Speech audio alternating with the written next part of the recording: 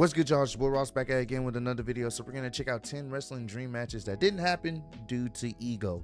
Unfortunately, there are matches that, you know, in the past, us wrestling fans wanted to see and maybe possibly could have happened, but politics and ego gets in the way of probably a particular uh, set of wrestlers and the match never happens and it always become uh, a fantasy booking scenario or what if scenario. So we're gonna check out some of these moments that maybe were on the cusp of happening, but uh, you know, egos maybe got into play, politics got into play, and it didn't happen. Appreciate all love support. Original video will be linked down below. Uh, it's by Cultaholic Wrestling. Let's get right into this one, man. Many reasons why a pro wrestling dream match won't end up happening. Disagreements over money, wrestlers never working in the same place at the same time, Yeah. bookers not considering Mojo Rawley a dream opponent, etc. Often, though, it simply boils down to the egos of the participants. It could be an old grudge standing in the way of doing business, one party refusing to lose to the other, or Yeah. something else entirely, but there have been some mouth-watering clashes right there for the making before politics came into play. Yeah. I'm Adam Pacitti from Cultaholic Wrestling, and these are 10 wrestling dream matches that didn't happen due to ego. Join us. Number 10, Shawn Michaels versus Hulk Hogan, Part 2. Mm, we know about this so one. Shawn Michaels versus Hulk Hogan did happen at SummerSlam 2005 in a match that is infamous for the Heartbreak Kid's outlandish overselling. the reason why Michaels was flipping and flopping for all of the Hulkster's offense, however, is because he was miffed that Terrible Terry had nixed a planned rematch where Shawn would go over at the following month's Unforgiven. There would then supposedly be a decider, with Hulk coming out on top to win the series 2 to 1. The mooted sequel was scheduled to take place inside a steel cage, but Hogan pulled the classic that doesn't work for me, brother card and ensured that his dalliance with the showstopper was a one and done deal. The red and yellow monster likely wasn't too thrilled with the idea of doing the favors for Michaels, even if he would ultimately get another win back himself, but his opinion of his opponent degenerated during their feud as Michaels continually mocked Hogan on TV. The tipping point came on Raw the night after SummerSlam when HBK cut a sarcastic promo touting Hogan's agility and in ring prowess, convincing Hulk that their feud was well and truly over. Number 9, Sting Oh man, bro. Shawn was like, all right, man, fuck it. Fuck it.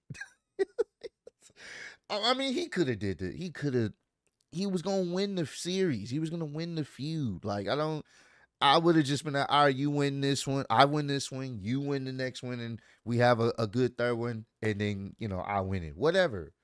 That's fine. But to just can it just because you don't want to lose to the guy, like, come on, bro. What what are we doing? Sting versus The Undertaker. It would have been great in 1995. Hell, it still would have been pretty damn good in 2005. And in 2015, well, it would have been quite the spectacle now, wouldn't it? When Sting, the last mm-hmm. holdout from WCW, finally made his WWE debut at Survivor Series 2014, many fans instantly Yup. began booking the icon against the dead man. it was the natural. I remember it was such a huge buzz. Like, okay, we finally get to see Sting and The Undertaker WrestleMania. Let's get it going. Imagine, just imagine, Sting would have won his first WrestleMania match against Triple H in the gang. Imagine he would have won it. Now, I don't think I believe he ended up facing Seth Rollins for the for the title. Obviously, I think Seth still should have probably won that. Uh, it only makes sense for Seth to still win that because you know Sting doesn't need the title. He's Sting. He's already that guy or whatnot. But if they could have built up a feud at some point for the Undertaker and Sting at WrestleMania, that would have been a main event match because everybody, well, not everybody, but a lot of people always wanted to know if Sting and the Undertaker ever went at it, who would win? That shit would be fucking legendary. And oh man, and just just to put it out there, say for example, would y'all be okay if Sting was the one to bring the Undertaker streak? Just just throwing it out there. If it ever did, we was in the alternate timeline, would y'all be okay with it, or would y'all still prefer maybe a younger talent? That's just a question I want to ask. Would y'all prefer a younger talent to do it, or would y'all trip if it was Sting to be the Undertaker streak?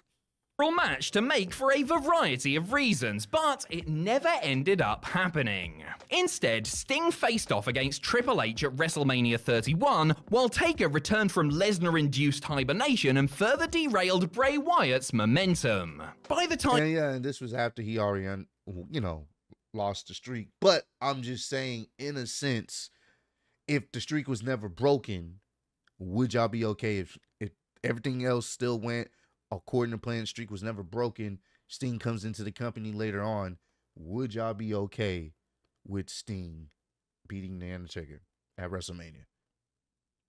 That's the question time WrestleMania 32 came around a year later, Steve Borden was retired and being inducted into the WWE Hall of Fame, and the Phenom was scrapping with Shane McMahon inside Hell in a Cell. The window had passed, but why wasn't the bout booked a year prior, especially yeah. when Sting was so keen for it? Well, according to some cryptic comments made by Mark Calaway, the backstage belief was that the match looked better on paper, with Sting adding that Vince wanted one last WCW versus WWE themed bout, hence him inexplicably doing the job to the cerebral assassin. Number 8, Steve Austin versus Brock Lesnar. Once they did that, I was like, uh, no, no, I, I did not like that, bro. I didn't like that at all. Uh, it was cool for nostalgia purposes, but Sting still should have went over. They just that's millions and millions of dollars they left on the table.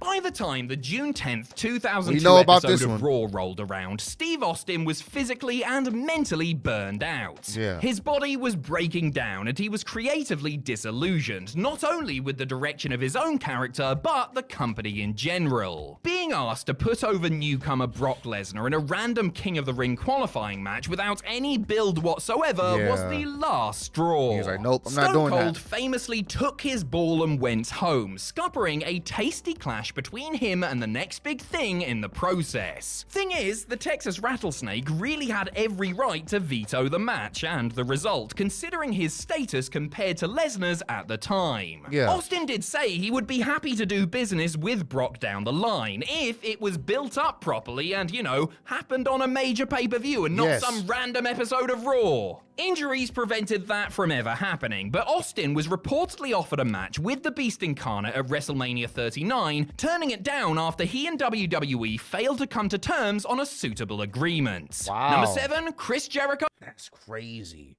Seeing Austin with fucking Brock, that would be insane. That would definitely be insane, and they could have definitely played that up definitely could have played up what happened many years ago. But I'm always in agreement. You really had him in a qualifying match on a random Monday Night Raw to lose. It's stone cold. He deserves better than that. It's stone cold. He helped you win the Monday Night Wars. Stone Cold Steve Austin. What are we talking about?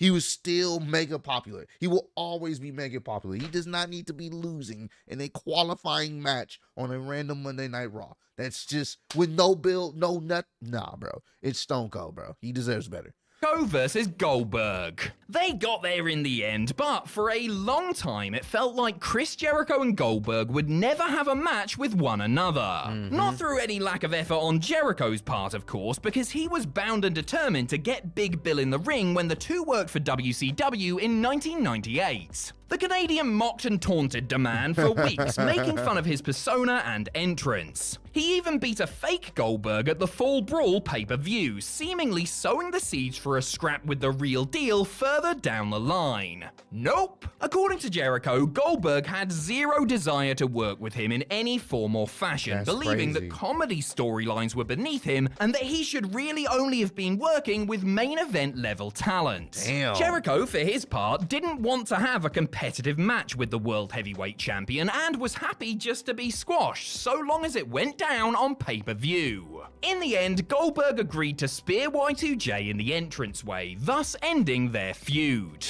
It was this display of egotism that convinced Jericho to see out his WCW contract and try his luck in WWE. That's crazy. Number six, bruh. Antonio Inoki versus Akira Maeda. He just was trying to the make a- a little of funny moment. 1980s Japanese wrestling, Akira Maeda was no stranger to controversy. Whether it was that bizarre match with a drunk Andre the Giant where neither man had an interest in cooperating, or the time he broke Ricky Choshu's face with a shoot kick, Maeda had a reputation for doing his own thing. And that extended to working, or rather not wanting to work with, New Japan Pro Wrestling founder, booker, and top star Antonio Inoki. The two men met many times in tag bouts, but only in one singles match in 1983, which Inoki won. Despite there being big money to be made with a full on program between the two, it didn't come to pass due to Maeda's unwillingness to work with the Chin Star. Akira and Inoki had some major heat backstage, and Maeda Damn. used his clout as a top star to pass on a series of matches. The big sticking point was, predictably, Inoki's refusal to put over his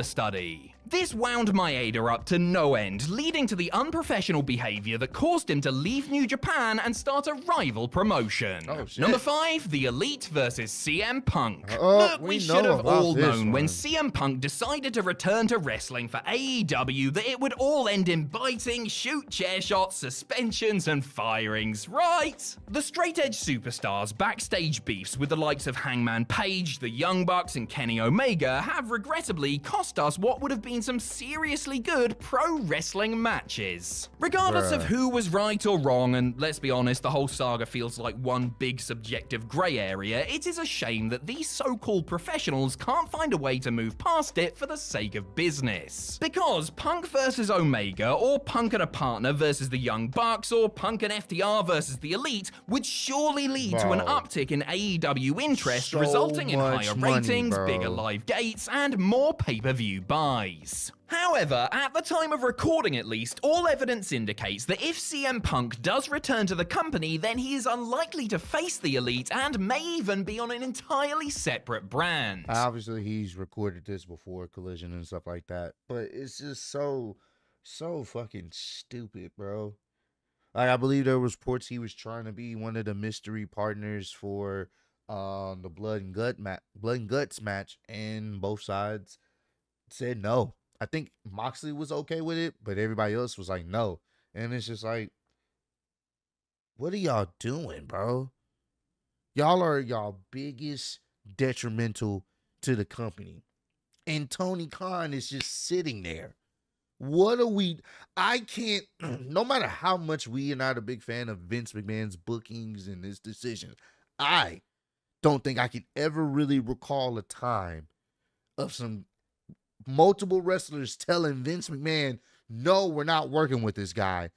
And that's it. And there's no repercussions. No, nothing happens. What? It's rare that anybody tell Vince McMahon no. Let alone a multitude of people saying, nah, we ain't doing this. When there's millions to be made, y'all get paid more. T- hey, hey, man. To each his own. Number 4, The Rock versus Shawn Michaels. Back in the day, Shawn Michaels was a real piece of work. Yeah. As arrogant and hard to manage as he was talented, Michaels made many enemies in the first Yes, half of his career. Definitely and that did. included a young. Dwayne Johnson, who, rumor has it, has harbored a grudge against the Heartbreak Kid ever since he witnessed Michaels being disrespectful to his grandmother when Michaels wrestled for his family's promotion way back when. Relations Ah. didn't improve when Shawn was top dog in WWE in the mid to late 90s and Rocky Maivia was a young blue chipper looking to find a foothold. Michaels, along with close friend and confidant Triple H, were, shall we say, less than welcoming to the third generation star. Many years later, when the boy toy had returned from his four year injury layoff and The Rock was the most electrifying man in all of entertainment, DJ put the kibosh on a match with HBK. WWE would have liked to have booked it, but the People's Champion wasn't about to do business with somebody he really didn't like on a personal level. The two eventually mended fences, and Michaels now helps train Johnson's daughter in. NXT. Number three, which is it's crazy how time time does uh, it, it does heal all wounds. It, it it should be able to you know over you know end all beefs you know what i'm saying? I'm glad they was able to reconcile that and the fact that he is helping training his own daughter it, it actually comes full circle. The person you never really liked didn't want to have a match with is now training your daughter. It's for it's crazy how just time can heal all things man Bret Hart versus Hulk Hogan. The ending of WrestleMania 9 was famously one of the most infuriating ever, particularly for Bret Hart. The Yeah. Hitman dropped the WWE title to Yokozuna, who then immediately lost it to Hulk Hogan in an impromptu farce of a match. That's Bret was up, bro. relatively okay with it at the time, since he had been promised that the Hulkster would pass the torch to him properly at SummerSlam. Oh, Bret. Poor, sweet, naive, handsome Bret. You Months know. before their proposed match, Hogan know. had one of his customary changes of heart, no pun intended, Yeah. and decided that he would rather drop the title back to Yokozuna at King of the Ring thanks to an exploding camera, rather than lose clean to the excellence of execution. Hart was, naturally, a bit irked about having his main event WWE title torch passing moment taken away from him and has used the situation to routinely knock Hulk over the years. The only time they did meet in a televised one on one match was over five years later on a random episode of Nitro, with Bret winning by DQ and no follow up because WCW. Number two, Brock Lesnar versus Kevin Owens. Deep down, he may be a simple country farm boy from Webster, South Dakota, I did but hear about Brock this. Lesnar is no fool when it comes to the pro wrestling business. The Beast has negotiated some of the most lucrative contracts in history, while For essentially sure. being able to pick and choose when he wants to work. Yep. He can also apparently choose who he wants to work with. And according to Scuttlebutt, aka Road Dog, on that podcast of his, Kevin Owens is not one of those people. It wasn't specified exactly when Lesnar rejected the chance to work with the prize fighter, but it was likely during KO's run as Universal Champ. Brock and Kevin did have one non televised outing at a Madison Square Garden house show on March 12, 2017, which took place between Owens dropping the Universal title and Lesnar challenging Goldberg for it at WrestleMania 33. You will be surprised to hear that Brock ate him up within two minutes and pinned him following an F5. If Lesnar was motivated and these two were given a decent chunk of time, the results could be spectacular. Facts. Come on, Brock. Number one, And I don't know why he doesn't want to work with him. Uh, that that's that's a fucking that's a match. That that's a money making match for sure. Steve Austin versus Hulk Hogan. The ultimate one. WWE really only had one shot to book the dream match to end all dream matches at. WrestleMania 19, and they blew it. Not really, of course, because Yeah. trying to get Steve Austin and Hulk Hogan to square off in a singles match was a political minefield that nobody knew how to successfully navigate. Pretty much all of the resistance came from the bionic redneck, as Austin didn't feel as though their styles would mesh well in the ring. Hmm. Hulk was older and way less mobile than he had been in years prior, while Austin's injuries were beginning to catch up with him, leading Stone Cold to predict the match would be awkward and disappointing to fans. Damn. Also, you know, there was that little detail about who would lay down for the other one. Yeah. It's very unlikely that Austin would have wanted to do a job for Hogan, and likely vice versa, although this has never been outright proven. Bottom line is, Austin was pitched the match on several occasions and stomped a mud hole in the idea every time. Seeing how Hogan ended up completely stealing his Mania Dream match with The Rock, Yeah. he's probably glad that he did. It it worked. It worked better in the end, man. Ah, that's that's crazy. I, I want to pass off that question to you. If we ever did get Hogan versus Austin at a WrestleMania back then, who would y'all would have wanted to win? Who would y'all have go over? Would it be Stone Cold Steve Austin going over Hulk Hogan, or would it be Hulk Hogan going over Stone Cold? Me personally, I definitely would have picked Stone Cold because pretty much Hulk Hogan had the golden years, as they say of wrestling or whatnot. But once he ended up, once things started switching and he ended up going to WCW and he had to find that character change, Stone Cold became the next guy. He was the Attitude Era, you know, and of course, with everyone else, I was a part of that. So I'm not going to take away The Rock, Undertaker, Mankind, Triple H. But we knew Stone Cold was the draw. He was. He was their next next megastar. And then you have The Rock, who was right there. Like when Stone Cold went out, The Rock became the next megastar. So, in my opinion, I would have had a passing of the torch moment because we knew, we knew, everyone knows. Even Hulk Hogan don't want to admit it, but the peak of wrestling was in the Attitude Era with Stone Cold as pretty much the very top top guy. It's as simple as that. So I would have had Stone Cold win that WrestleMania match, passing over the torch. I think that would have been cool, man. So comment down below. Let me know who do you guys think would have should have won that match, Stone Cold or the under uh, not the Undertaker or uh, um, Hulk Hogan if they ever had a match at WrestleMania. But I appreciate all the love and support you guys shown on channel Road to 150k, and I'm still your undisputed YouTube wrestling champion of the world. Appreciate y'all kicking beats. Y'all next one. Peace.